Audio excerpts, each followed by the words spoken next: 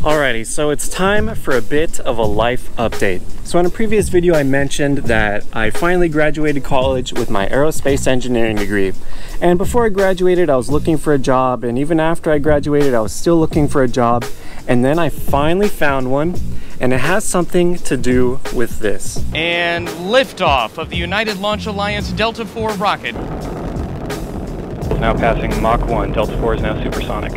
So now that I have that job, I'm living on the Space Coast. So I have a whole area of Florida that I still gotta explore.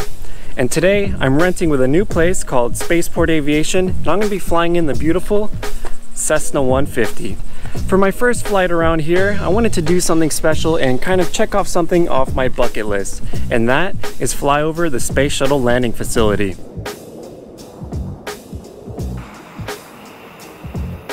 So that's what we're gonna do today. Let's go have some fun.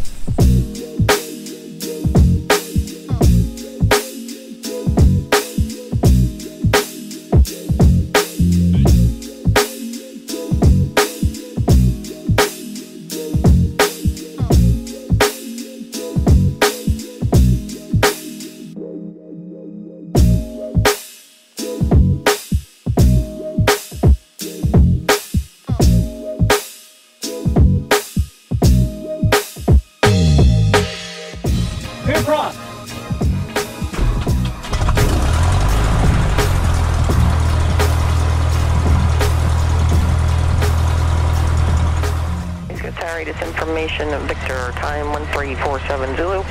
Winds are variable at 4 knots, visibility 6 and haze, skies are clear. Temperature and dew point are missing, altimeter 2996. Expect visual approach runway 18. Helicopters operating west of runway 18 at or below 600 feet. Caution bird activity in the airfield. Read back all runway assignments and hold short instructions. Advise Space Coast Tower contact. Have ATIS information. Victor. Good morning, Space Coast Ground, Cessna 80 Papa Papa over here at Spaceport Aviation with information Victor will be departing VFR to the northwest. Cessna 80 Papa Papa, Space Coast Ground, runway 18 at Echo, taxi via Delta Charlie Echo.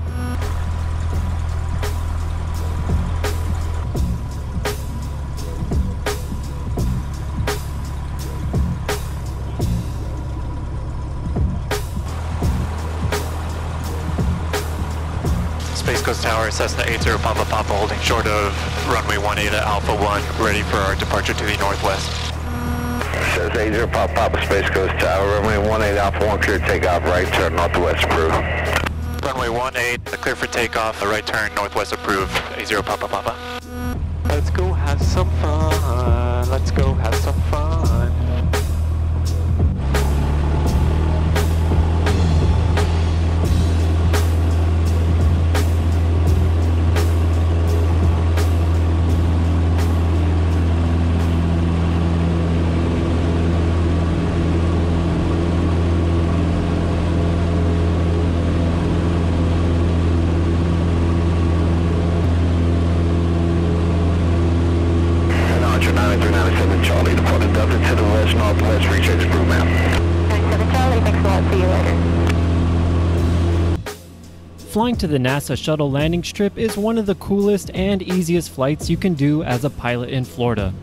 The facility has a tower that's usually only open during weekdays, and they'll most likely let you come in for a low approach to see what it was like for the astronauts in the space shuttle.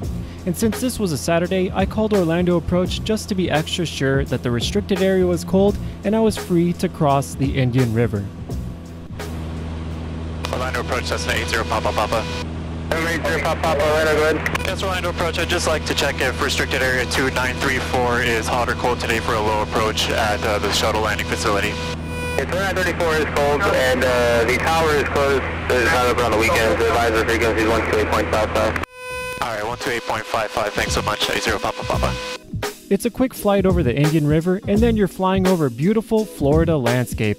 Just head towards the NASA Vehicle Assembly Building, and you won't miss the huge 15,000 foot runway. One of the longest runways in the world, uh, 15,000 feet, almost three miles. And uh, we're gonna see how long it takes for us to do the entire thing. Coming up to the shuttle runway was honestly surreal. I imagined what it was like to fall through the atmosphere and glide like a rock down to the runway. This is a special opportunity that I'm so glad that pilots can still take advantage of. If you can, you absolutely have to do this flight. You won't regret it. Oh man, look at this big, beautiful runway. Oh, and you can see the shuttle mock-up over there.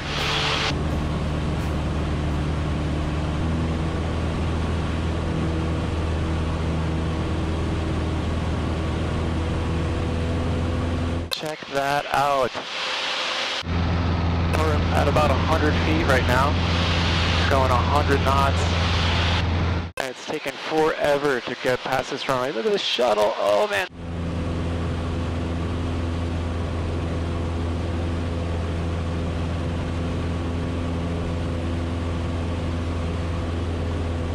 Now I want to do an approach from the other side. Clear right.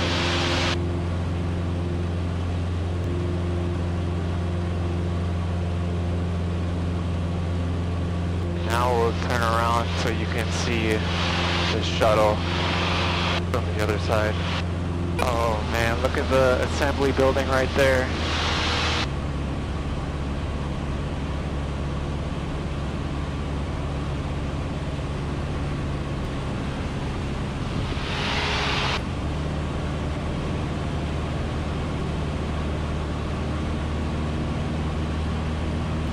Dang. This is awesome.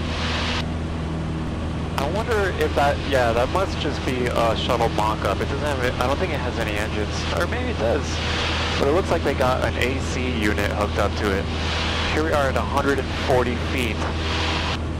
Bye shuttle, little crab, bye tower.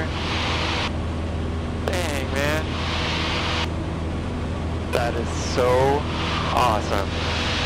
Yeah, that's so cool. The Space Coast, very interesting place to live, that is for sure. A lot of uh, amazing things going on around here, and a lot of kind of weird things going on around here. After pretending I'm an astronaut, I decided to go check out Arthur Dunn Air Park, home of the 18,000 foot skydives. They have a short 2,900 foot runway and an awesome King Air C90 as their jump plane.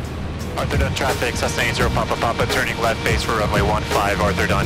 Well, good morning, 0 Papa Papa. Hey, listen, the uh, skydive plane just took off a couple minutes ago, so you'll have jumpers coming in. And we'll keep a close eye on out for those jumpers, 0 Papa Papa. All right, Pop Pop, have a good flight. You as well, thanks. Have a good one.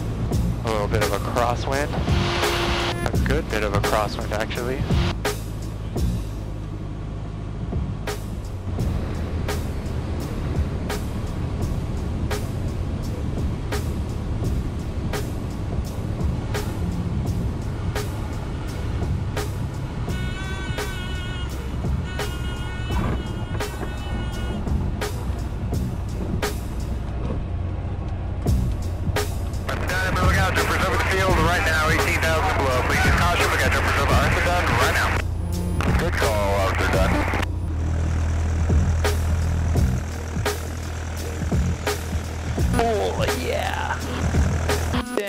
Was awesome. Uh, Arthur Dunn traffic, Cessna 80 Papa Papa, departing runway 15 to the south. Arthur Dunn.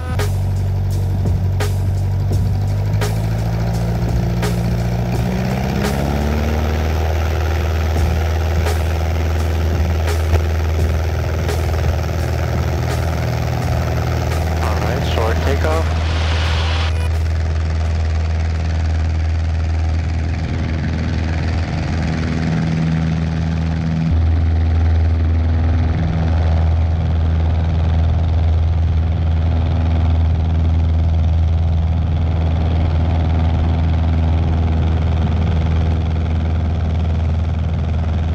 Space Coast Tower, Cessna 80 Papa Papa, approximately 4 miles northwest of the field, inbound uh, with Victor.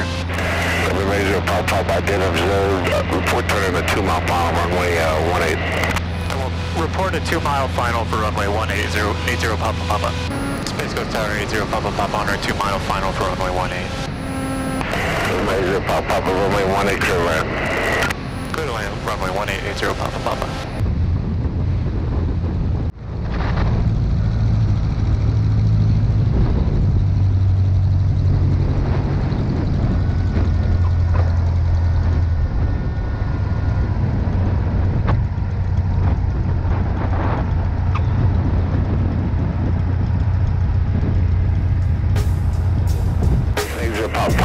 Right on Echo, taxi to parking.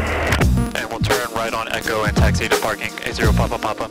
Thanks so much for watching, and if you enjoyed the video, make sure to like and subscribe. Also, if you want to support the channel and you like the looks of the Florida Flying shirt, you can find some merch linked below. Until next time, blue skies and safe flights.